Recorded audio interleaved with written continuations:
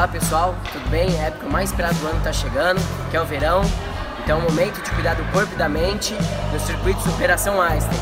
Convido todos vocês no domingo, dia 10 e 12, no Parque do Poeira, para fazer uma caminhada comigo, com a família e com os amigos. Valeu, muito obrigado, espero vocês lá.